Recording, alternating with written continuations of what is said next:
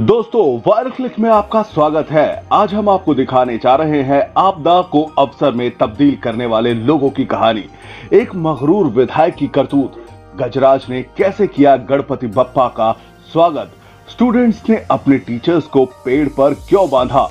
और आखिर में एक ऐसे नन्हे मासूम की प्रेरणादायक कहानी, जिसे देखकर आपकी आँखों में खुशी के आँसू आ जाएँगे। तो चलिए शुरू करते हैं वायरल क्लिक का सिलसिला। लेकिन उससे पहले आप वायरल क्लिक को सब्सक्राइब कर लें और घंटी का बटन दबाकर ऑल पर क्लिक कर दें ताकि आप कोई अनजानी अनोखी अलबेली वायरल कहानी जानने से चूक न जाए। तो चलिए शुरू किया जाए। दोस्तों मध्य प्रदेश में आपदा में अवसर और मुसीबत में मौका तलाशने का एक शानदार वीडियो सामने आया है। मध्य प्रदेश के जबलपुर में भीषण बारिश के बाद गोकुलपुर तालाब ओवरफ्लो हो गया। ऐसे में बाढ़ से त्रस्त लोग पुल पर खड़े हो गए और उन्होंने जाल फैलाकर मछलियाँ पकड़ना शुरू कर दिया।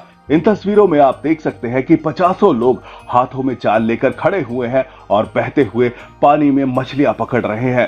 तालाब में पानी का स्तर इतना ज़्यादा बढ़ गया है कि पुल पर खड़े होने के बावजूद ये लोग कमर तक डूबे हुए नज़र आ रहे हैं। लेकिन इसके बावजूद जान का जोखिम उठाकर ये लोग मछलियाँ पकड़ रहे हैं।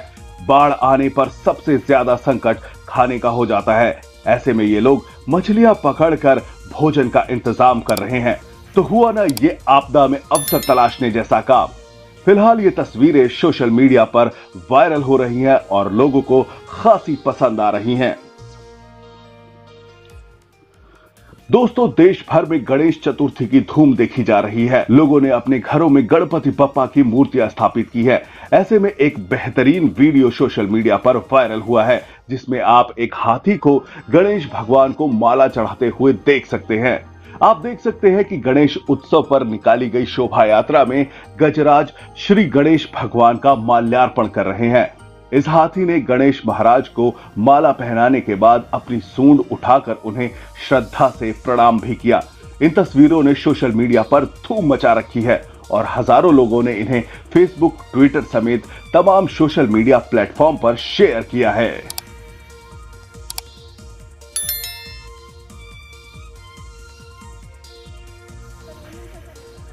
दोस्तों, अब हम आपको दिखाने जा रहे हैं सत्ता के नशे में चूर कर्नाटक के भाजपा विधायक अरविंद लिंबावली की तस्वीरें। विधायक साहब ने अपने पास फरियाद लेकर आई एक महिला के साथ दुर्व्यवहार किया और गाली गलौज किया। आप देख सकते हैं कि भाजपा विधायक अरविंद महिला से उसका शिकायत पत्र छीन लेते हैं और उसे भला बुरा कह रहे हैं। उन्होंने महिला से गाली गलौज किया और अपने सिक्योरिटी ऑफिसर से महिला के खिलाफ कार्रवाई करने को कहा। इसके बाद महिला को थाने ले जाया गया और बे इंतहा परेशान किया गया। चुनाव के दौरान लोगों के पैर पकड़ पकड़ कर वोट मांगने वाले ये नेता जब जीत जाते हैं तो पब्लिक के साथ ये कैसा बर्ताव करते हैं, आप देख सकते हैं। ये भाजपा के वही मगरूर विधायक हैं, जिनकी बेटी ने तीन महीने पहले सरेआम एक ट्रैफ़िक पुलिस कर्मी के साथ गाली गलौज किया था और अपने रुतबे को दिखाते हुए कहा था कि तू जानता नहीं है कि मैं कौन हूँ। इन मोहतरमा ने अपना वीवीआईपी स्टेटस दिखाते हुए वर्दीधारी पुलिसकर्मी की सरे आम इज़्ज़त उतारी थी। उस वक्त मामला बढ़ता देख बीजेपी विधायक अरविंद ने आगे आकर अपनी बेटी के किए की माफ़ी मांगी थी। लेकिन अब तो विधायक साहब ने खुद ही एक महिला के साथ गाली गलौज किया है। इनके लिए माफ़ी कौन मांगेगा? दोस्तों, शराब, गांजे, सिगरेट और अफीम जैसे नशे उतर जाते हैं। लेकिन सत्ता का नशा ऐसा है जो पाँच साल से पहले नहीं उतरता। कर्नाटक में जल्द चुनाव होने वाले हैं। हम उम्मीद करते हैं कि इन साहब का नशा भी उतर जाएगा। दोस्तों, हमारे ग्रंथों में गुरु को ईश्वर का रूप बताया गया है, क्योंकि गुरु ही ईश्वर से साक्षात्कार कराते हैं। लेकिन अब न वो गुरु रहे हैं और न वो शिष्य। झारखंड के दुमका में नौवीं क्लास के छात्रों ने परीक्षा में फेल होने पर तीन टीचर्स को पेड़ से बाँध दिया। असल में इन छात्रों का आरोप है कि टीचर्स ने प्रैक्टिकल के नंबर न देकर इन्हें जानबूझकर फेल किया है।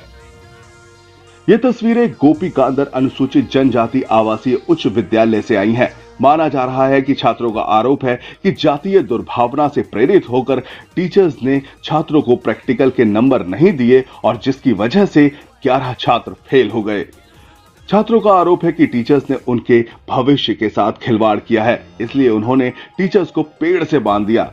छात्रों ने इन तस्वीरों को बड़े पैमाने पर सोशल मीडिया पर लाइव कर दिखाया, इसके बाद बवाल मच गया। फ़िलहाल यह मामला बढ़ने के बाद पुलिस ने स्कूल के प्रिंसिपल समेत छात्रों पर केस दर्ज कर लिया है और इन टीचर्स को छुड़ा दिया है।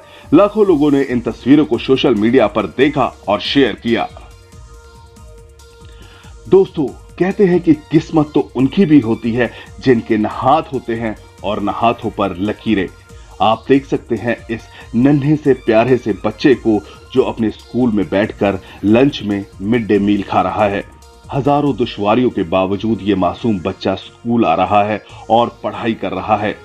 ये उन लाखों लोगों में उम्मीद की किरण पैदा कर रहा है जो अपनी ज़िंदगी की मुश्किलातों में थक कर मायूस होकर बैठ जाते हैं। ये बच्चा हार को जीत में तब्दील करने की एक अनोखी मिसाल कायम कर रहा है। ऊपर वाले ने बेशक इस मासूम के साथ नाइंसाफी की है लेकिन इसके बावजूद ये बिना किसी को दोष दिए अपने जीवन के मकसद को हासिल करने के लिए उम्मीद की लौ को जलाते हुए आगे बढ़ रहा है। सलाम है इस नन्हे से फूल को और सलाम है इस फूल के माली इसके माँ बाप को। हम तो ऊपर वाले से यही दुआ करेंगे कि ये बच्चा जीवन में कामयाबी की अमिट मिसाल कायम करे। दोस्तों, ऐसे ही लाजवाब वायरल वीडियो और अनोखी प्रेरणादायक कहानियाँ देखने के लिए वायर क्लिक को सब्सक्राइब करके घंटी का बटन दबाएँ और ऑल दबाएँ। साथ ही अगर आपको ये वीडियो पसंद आया है तो इसे लाइक करें और अपने दोस्तों के साथ शेयर करें।